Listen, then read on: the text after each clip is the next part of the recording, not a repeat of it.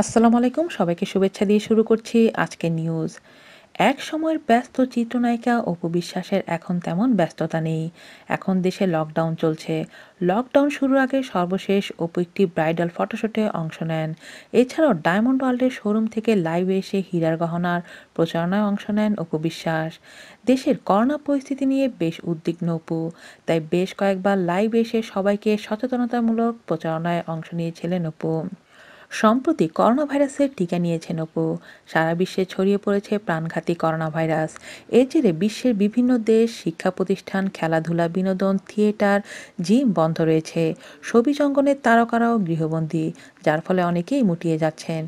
তবে ঘরের কাজের মাধ্যমে ব্যায়াম হয়ে যাচ্ছে ঢালিউড কুইন নায়িকা অপু বিশ্বাসের। এমনটি জানি অপু বলেন, আমার ছেলে হওয়ার পর অনেকটা মুটিয়ে গিয়েছিলাম, তবে এখন কিছুটা ওজন কমিয়েছি। নিয়মিত ব্যায়ামও করছি বেশ কিছুদিন। এখন তো সবই বন্ধ। তাছাড়া এখন আমার বাসায় কাজের লোক নেই। করোনা ভাইরাসের জন্য কাজের লোককে ছুটি দিয়েছি। যে কারণে নিজেকে রান্না করতে হচ্ছে, ঘর পরিষ্কার করছি, ঝাড়ু দিচ্ছি, এসবের মধ্যে আসলে ব্যায়াম হয়ে যাচ্ছে। তিনি আরও জানান, এরপরেও শরীর ঠিক রাখতে ডাক্তারের পরামর্শ অনুযায়ী নিয়মিত ডায়েট করছেন তিনি।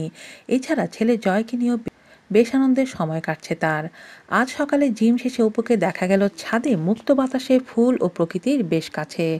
সকালে শুভ্র বাতাসে প্রাণ খুলে শ্বাস নিচ্ছেন অপু।